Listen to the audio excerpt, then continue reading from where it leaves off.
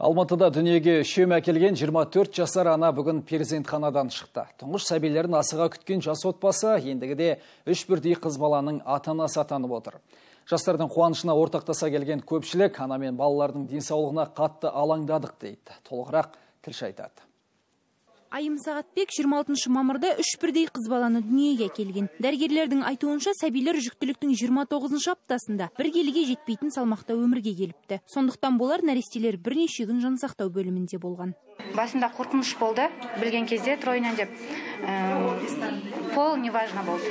Балаларды бірден реанимацияға алып кетті. Реанимацияда өте жақсы қарады. Реанимациядан 5 және 10 күн ішінде шықты.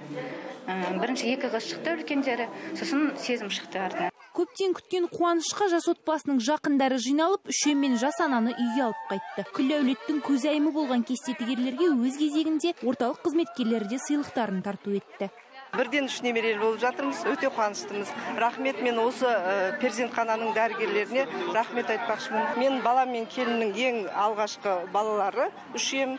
Енді қуаныштымыз осы күні осындай сәтте шығып жатқанымызға балалармен сезім прям вау ғой енді енді үшем деген енді қиын бір сетінен бірақ оңай да жолдар болатын шығар енді.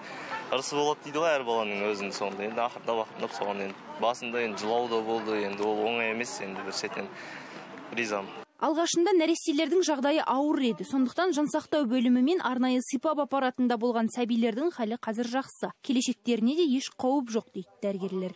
Динамикасында жағдайлары жақсарып тамақта өз беттерімен еміп салмақтары қазіргі таңда бірінші нәресте 930 граммен туылып 1935 граммен шығып жатыр. Екінші нәрестеміз 980 э, граммен туылып 2009 граммен шығып жатыр.